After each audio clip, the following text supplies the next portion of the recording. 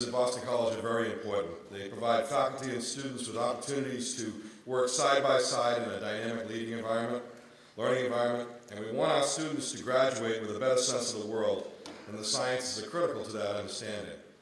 So today we're going to hear from Professor Michael Naughton. Uh, professor Naughton is a professor of physics at Boston College. He's the university's interim associate vice president for research. His nanotech research led to the invention of a device that detects buried, non-metallic landmines, for which he is now holds a patent. Professor Naughton holds degrees from St. John's Fisher's College and Boston University. He joined the university with tenure after teaching at the State University of New York at Buffalo.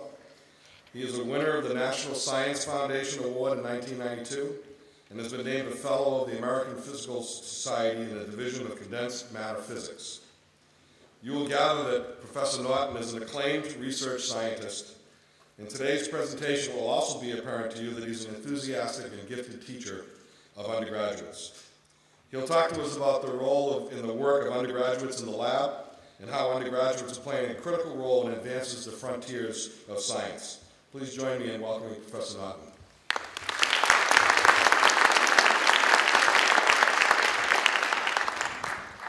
Thank you, and welcome everybody. I'm going to, uh, if I can, take my coat off, kind of move around a little bit.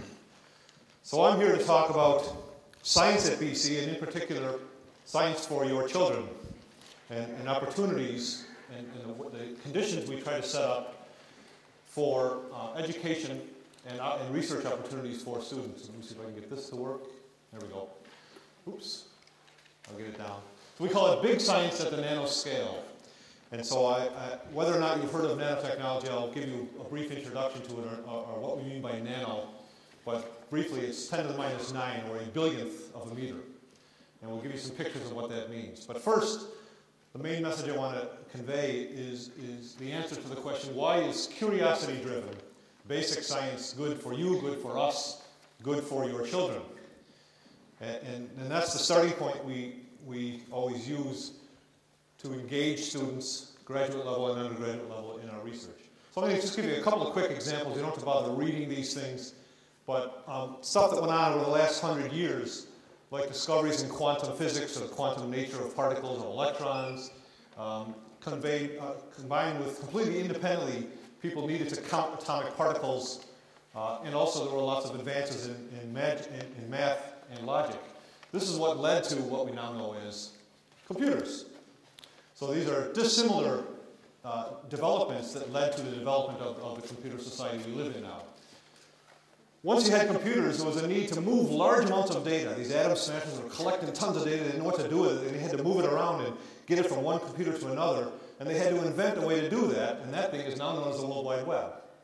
It was discovered, or was invented at, at a research laboratory in Switzerland, in, in, in Europe. Um, so, in other words, it wasn't necessarily the goal was to create the World Wide Web we know of it today, but it was to do something specific that led to this beautiful unintended consequence. And the third example is people, in their own words, were playing around the lab one day and had some lucky breaks on something they were trying to do, and, and as a result, uh, discovered something completely different that they didn't try to do, and that was the laser. And so the point here is that If you start with curiosity, you see a problem you're interested in. You don't even know if you're going to get to the end of that problem, but if you're a curious person and you play out on that curiosity, and you have the conditions to do something with it, that is training. You have the facilities, the laboratory to play out your curiosity, and sometimes you get a little lucky, some serendipity. That's very often the direct path towards discovery. It may not be what you were looking for, but what you end up with is what matters. And so that's the conditions we're trying to set up at Boston College. And that's what we always do as scientists is rely on our training and our curious minds and try and get lucky and come up with discoveries. And we now have opportunities in almost all the sciences in everybody's lab for undergraduate students to partake in this pathway towards fun, basically. So now I want to give you some examples of how does this happen and what, uh, what types of discoveries might be in place to happen at Boston College. But first I want to define what we mean by a university college. And the short story here is that the research we're doing within the sciences is, in our humble opinion, top level at any university in the country. And the resources we're given, you see the beautiful facilities that are around, the people that are being attracted to work here, the students that are coming. Your children are better and better students. Uh, but yet, we never lose sight of the fact that we are a college and we want to serve the undergraduate students. And serving them is not just teaching them in coursework, it's bringing them into our labs and letting them do this discovery based science. Um, and by way of example, some numbers we have close to $20 million in science grants last year. It's about a third of the research money that's coming into Boston College altogether. Okay, a scientists can round up 17 to 20 because it sounds better. Um, we have 500 science and math course sections taught for now on the order of 50,000 credit hours. It's not that many students, but 50,000 credit hours in the sciences alone. So it's not a small presence. It's a significant fraction of the, of the education at Boston College, and this is the undergraduate level education. And so we like to think that we combine the best aspects of major research universities, which many of us consider ourselves to be, if not, we certainly strive to be that, with the very best of undergraduate college, which we think we are among the top undergraduate colleges. And it's the best place to be is at somewhere where they do both. It's the best service to your children as undergraduate students to have the opportunity to work with graduate students and postdocs and faculty right in their labs. So now I want to show a couple of examples of how that's going on here and get back to the title of the talk, which was Big Science, but at the nano scale. Um, so what does this mean for your children, for BC students? First, there are in the order of, in fact, more than 1,000 undergraduate science majors, which is what percentage? I forgot. It's, it's um, 10% maybe of the undergraduate uh, population is, is a science major. Uh, and back to the University College, we have what we call a unified faculty.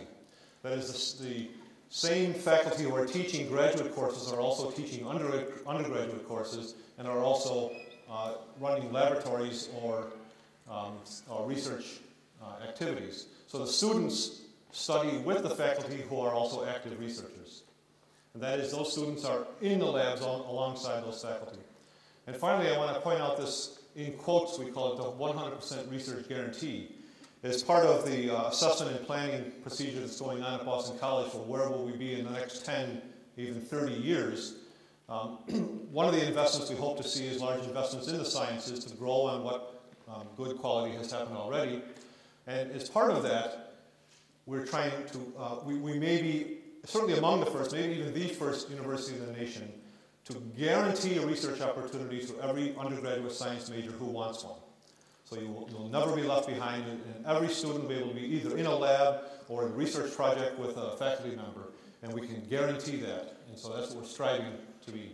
And so it underscores the strength of the commitment to the undergraduate student at a graduate university.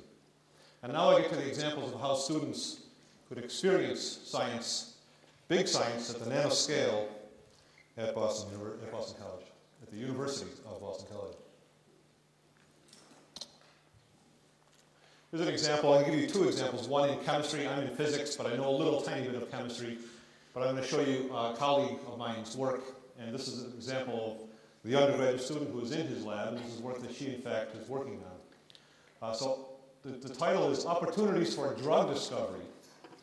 And these opportunities have never been greater because of a couple of examples. One is the Human Genome Project. I'm sure you've all heard of it.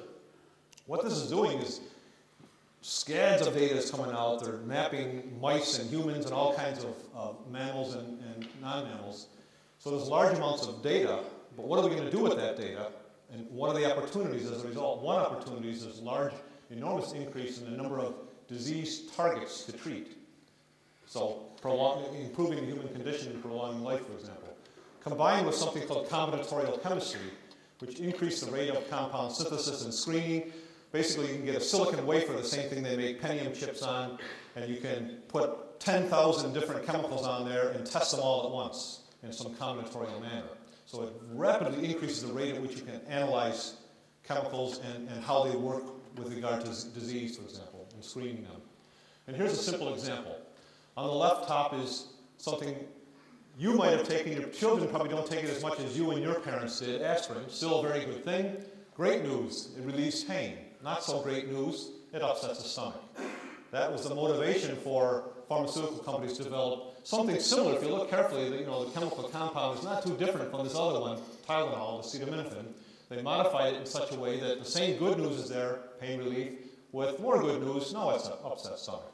So that's the type of thing that, that, that uh, that's being conceived of for uh, beyond pain relief, what um, cancer and, and, other disease gratification. So uh, another example is uh, mitomycin C, some other chemical, don't worry about the details there. Good news is it kills cancer cells. Anyway, that has uh, family members or loved ones or, or uh, know people that are, have cancer, you know that the bad news is also is that the chemotherapy kills the healthy cells as well as the bad cells, the cancer cells. So our goal is, well, we're not there yet. The goal is to have the top be good news still, and the bad, and, and more good news, like acetaminophen, is that it doesn't kill the healthy cells. So the good news is we need a drug that differentiates healthy from cancerous cells. We're not there yet. No one is there yet. Lots of people are working on that, including research at Boston College. and so, for example, a specific example of Boston College is this. I won't bother saying the name of this chemical here. Uh, it has some efficacy against uh, cancerous cells, but it's an extremely laborious, time consuming, and expensive process to synthesize that chemical. So the goal and, and, the avenue of research in this particular lab is to create something called catalysts that take accessible molecules and chemicals and convert them into the ones that do what we want to do. And that is this, as yet right now, uh, undiscovered catalyst, but the goal is to be able to get that same endpoint with some simple compound that you can buy. So I'm not going to give you the details of how that's done. It's not been done yet, but they're working towards it.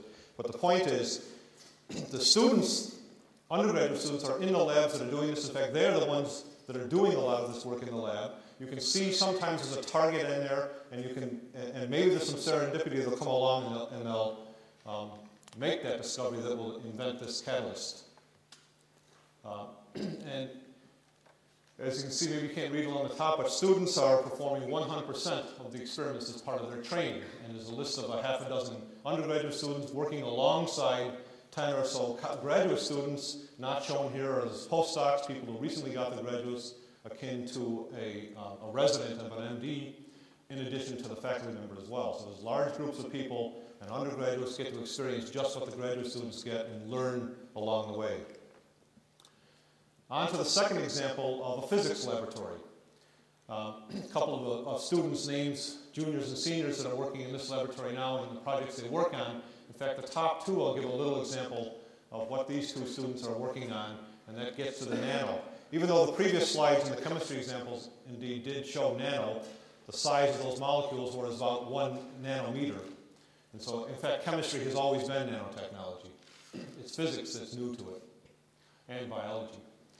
This particular example is advancing nuclear magnetic resonance, resonance imaging, also known as magnetic resonance imaging, or MRI, with nanotechnology.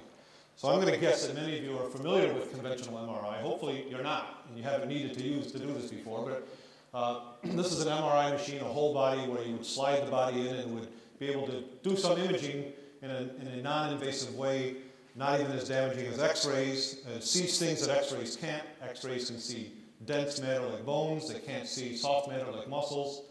Um, MRI is just the opposite. It sees the soft matter. So here's for example, a slice, oops, let me go back up, um, what's called a slice of a brain image. Basically, MRI can image uh, non-invasively what's in your body and take an individual slice one at a time and take a picture of what's in there.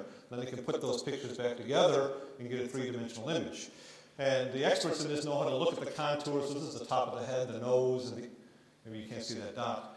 The eyes here, the nose, and the uh, central cortex and the brain and the skull around the outside. And the experts can look at this and see differences in color and, and, and pinpoint a tumor, for example.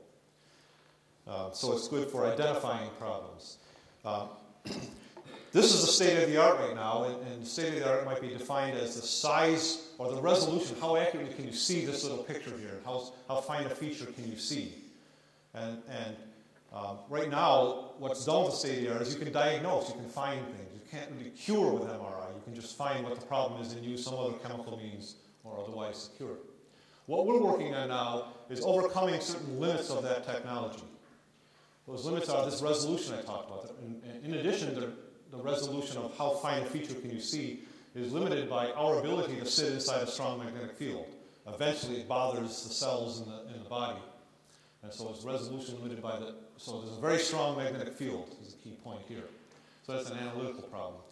Also, MRI takes snapshots like that picture of the slice of the brain. It's a still picture. There's no movies. Don't have the ability to see what happens in time.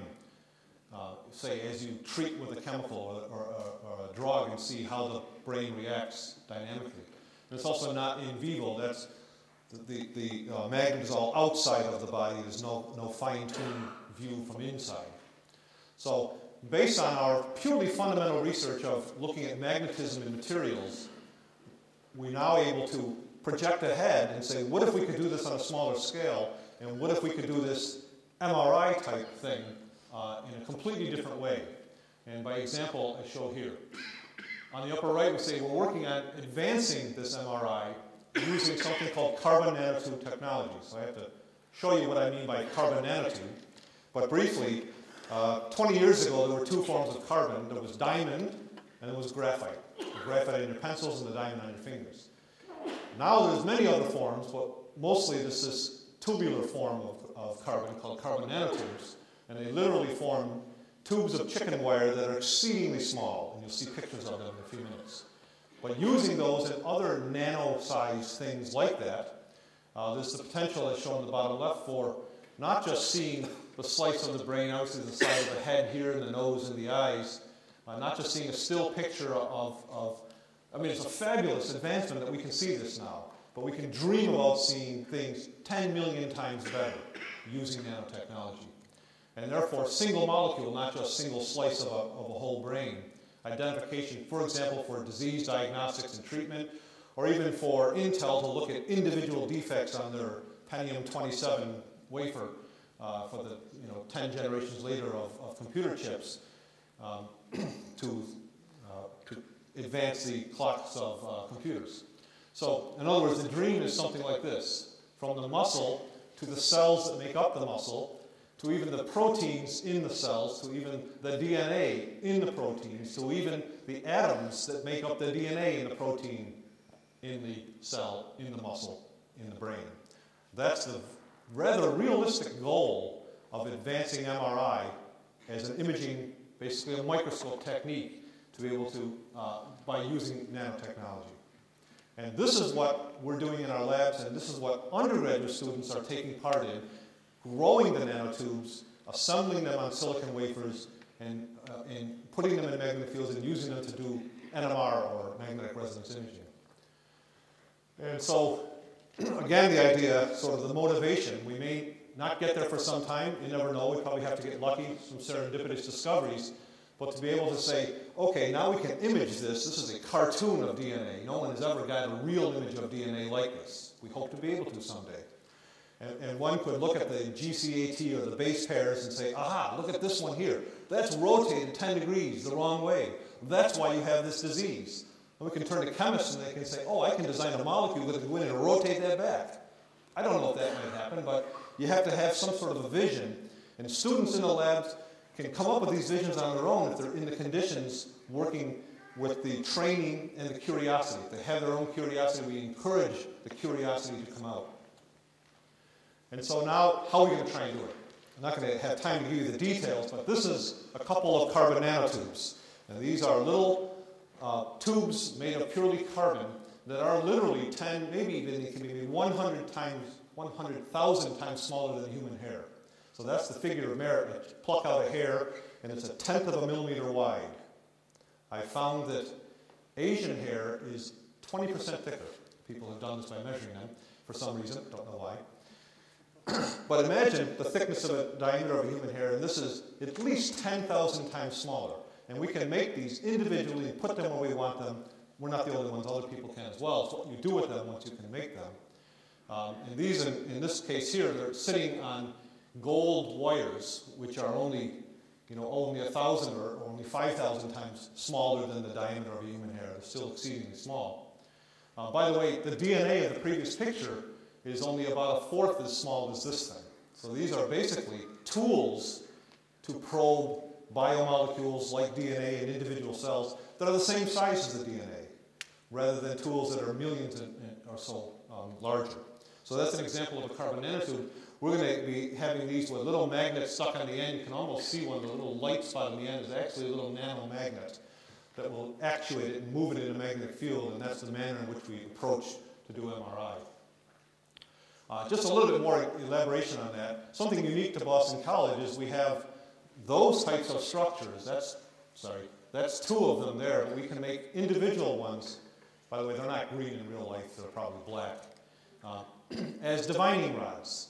So you may or may not know what a divining rod, but it's some completely mythical, useless thing that people would hold and find water or talk to ghosts in closets or whatnot. But um, the, the, the name got conjured up because we have real nanostructures, carbon nanotube based things that we can now make that are in this geometry, as shown in the next slide. So that's one oriented a different way, but a Y shaped device that can be made um, very precisely now. And this little scale bar is uh, one micrometer, one millionth of a meter. And so a human hair is the width of this building, the diameter of human hair compared to that there. So we can put thousands of these around the diameter of human hair if you ever wanted to. There's no reason to want to, but just to put the scale down. Uh, so what we're doing is we're actually attaching wires to these things and hanging them out and make them move around and put magnets on the end, and we can use that to image, to scan little things like cells and, and even, um, even biomolecules like DNA. And so we're using carbon nanotubes of, of this size that, that students themselves can grow. It's amazingly simple to grow once you learn the process. You can almost do it in a microwave oven. Uh, and now we have these special ones. We have the conditions, perfected the conditions for growing these basically world unique types of divining rod nanotubes. And we're now using these to try and develop tools to do this MRI for that zoom in from the brain to the, to the cell, to the protein, to the DNA, to the atom. I, I couldn't not show this little picture, so this is actually a video of one individual divining rod nanotube. So you see the three branches here, and it's, it's, it's attached to a, uh, a, a, sub, surface over there, a metal surface. We have a little tiny gold wire coming in. We've attached to it. That little thing there is 100 nanometers. So this is only about um, a couple hundred atoms across. You can see it's hollow, little thing in the middle, so it's a tube of carbon. And we're able to run electricity through this and measure its electrical properties while moving it around uh, and this is a simulation. It's actually real data. It's a real one, but this is the type of thing we want to do in the end to use this as a probe, as a microscopic probe of magnetism, and that's the manner in which you do MRI. And so this facility is world unique. There's nowhere else where you can put this all together with a structure that small and put, put active electrodes on it and move it around like this and measure it. And that's over in Higgins Hall at the top of the hill above uh, Conte Forum. Uh, and indeed, undergraduate students are sitting there turning the knobs and making this thing move and running current through them alongside graduate students and faculty. Finally, I want to make a comment, a few comments about uh, science at Boston College, the growth of science as exemplified in this case by the physics, my own physics department. Boston College's first Rhodes Scholar was last year, shown here, Paul Taylor. Uh, actually, we had two that year, but minutes before the non-physics one, the physics one was named a Rhodes Scholar, so he's the first. Um, not quite sure about that actually, but. Uh, so we have Rhodes Scholars, Goldwater Scholars, Marshall, Fulbright, Beckman, Truman, National Science Foundation Fellows. There's many, many more fellows, women and men, uh, who, are, who are achieving recognition through, through their research and their uh, uh, classwork at Boston College. And another example of the growth of the sciences, final example here is um, over the last eight or ten years, you can see that the number of majors has more than tripled, the number of majors in the physics department. Albeit we started with a small number on the order of a couple of tens, but now we're approaching 100.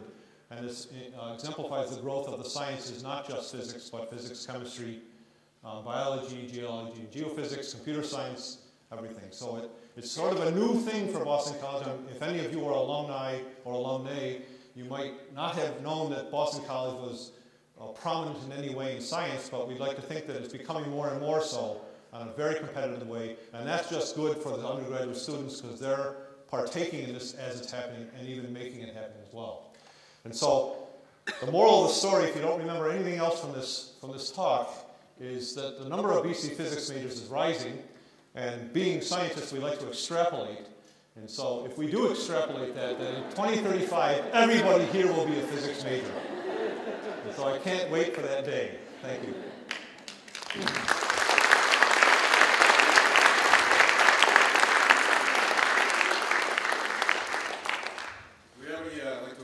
questions for Professor Naughton from the audience? There must be some questions. It was a perfect. There's no questions. Gentleman right here. I have one question. I understand there is a limited number of institutions doing this work. How many such institutions? Which work now? I mean, there's different things that on the nanotube. So the question was, uh, you understand, there's a limited number of institutions doing the work on nanotubes. Uh, it's growing over time uh, because, number one, you can publish how these are made and other people can learn from it. And that's a great thing because there's an awful lot of work to be done. Um, and so I think probably every university in the country is doing work in some way or another on nanotechnology. But there's niches and there's, there's uh, specialties that you can have at each university. We don't have the best of everything, but we do have the best of some of the things we do. And so um, nanotechnology is, is uh, nanotechnology is hard to define now. There was, there was an, those might remember several decades ago, the Supreme Court was asked to define some term, and I won't say what it was, but they said, I, I don't know how to define it, but I know it when I see it. Um, nanotechnology is similar to that. It's, it's, bio, it's biology now. It's, it's physicists doing biology, and it's chemists doing electrical engineering and it's all a hybridization of the sciences, which is a fabulous thing. But a lot of it is driven by nanotechnologies, being able to assemble things molecule by molecule or atom by atom and build structures like those nanotubes or those divining rod nanotubes. The divining rod stuff is unique to BC, and, and the ability to manipulate them, like you saw, is unique to Boston College. Is this technology mostly applicable to health Question is, is this technology mostly applicable to health? Um, no. I think the short answer is no. It's applicable to, to everything, to, to, uh, to electronics, to, to, um, to um, well, health is, is many different ways to talk about health. There's curing of diseases. There's assisting the blind to see and the deaf to hear. That's still health. Nanotechnology is making inroads there artificial cochlear implants that, that replicate the hairs inside your ear. That, they're about the same size as those nanotubes, so people are using them for health in that respect. But that's pure electrical and acoustic engineering that's being applied to health. But it's also being applied, say, by the military for, for sensing and listening devices. So they have applications everywhere, including health. It's all driven by curiosity. Yeah, whatever you can think of, you can you can think about doing. From uh, the academic world and teaching, could you comment a bit about what the uh, job market would be like for physics majors? I think the job market is going to explode for physics majors, especially physics majors who take an interest in the other sciences and, and an integrated approach. So we like to use the phrase integrated science. And more and more, pharma companies are looking for physicists to come do biology to do from a physics point of view because of the quantitative aspects and quantitative parts of training that is inherent in physics that is starting to be developed in biology. But uh, we're seeing our students now go um, to places like pharma. So I, I, think, maybe optimistically, I think that um, the job market for, for physicists is going to be very different in the next 10 years than it's ever been before. Question here. The research, all government funded or be a collaboration with private? the research question was where, who funds the research? Um, what you saw in the nanotubes was funded in part by the National Science Foundation, by the Department of Energy, by DARPA, the Department of Advanced Research Projects Agency, basically the, uh, the succeed, succeeding of ARPA, who invented the internet. Um, but it's also a, many collaborations with other universities as well on different parts. Um, and there are some money, but not enough from private foundations. That's something we'd like to see more of. And, and I think the the chemistry and biological fields lend themselves more readily to uh, corporations coming in, like pharmacology companies coming in. But um, you're starting to see that in physics as well. Question? Do you have anything going in high energy physics at all? As a matter of fact, no. Okay. No. And the reason is this Boston College is only going to be so large a university. We're not going to compete with MIT in everything and in Harvard, etc. And And so for physics, we are decidedly non comprehensive. If someone comes and says, I want to get a PhD in astrophysics, we say, that's a great idea. There's many universities you can go to, some, including some across the river. But we, we decided to focus on what was said in the introduction to the called condensed matter physics, which is the hugest part of physics. It's all of all of the biological part, it's, it's all the electrical part, it's all the magnetic part, it's all the mechanical part, but it's not high energy and it's not astrophysics. Questions, yes? Just Cut me off any time. Yes. To your MRI scan, the idea of using the carbon nanotube is to then put it into a chemical that you could then instill into the brain and then scan it and then video it. Um, Do you want me to take that one, or? I missed it. I missed it. Good, I was asking if you wanted to answer that. Sorry. Okay, you're asking for the detail of how it's going to work a little bit. Let me just tell you that uh, MRI is, is looking at the magnetism in your body. And so this nanoscale MRI is also going to look at the magnetism of whatever we put it near, whether it's something biological or whether it's the Intel chip looking for a silicon, uh, looking for a phosphorus atom in a sea of silicon. We can still find it. And so the way to do it is we'll put a, there'll be a small um, ferrous, nickel, or some, some magnetic material at the end of it, and we'll wiggle the thing. And it'll wiggle it like a, like a diving board. You go diving off a diving board, and it wiggles at a characteristic frequency, the resonant frequency. These things do that too, only they do it at hundreds of millions of hertz. And so they're radio frequency level. And so we'll look for the shift in the resonant frequency as it approaches a magnetic species.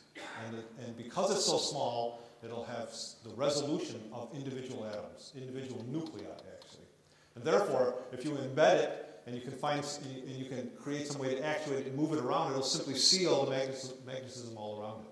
And they're so small, you could probably take a pill with 100,000 of them and have each one at a different frequency and have some computer reading them all at once and you just see everything all at once. I mean, that's a dream, but it'll never happen if you don't dream it.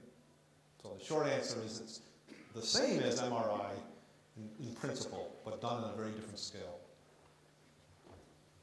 Questions? That's what he was said too. I would have said almost.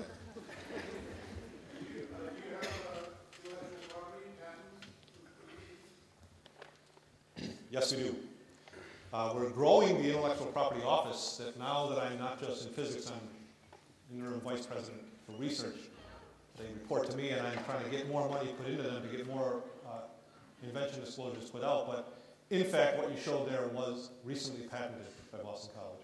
The concept of the um, dividing rod nanotube for MRI is patented and owned by Boston College.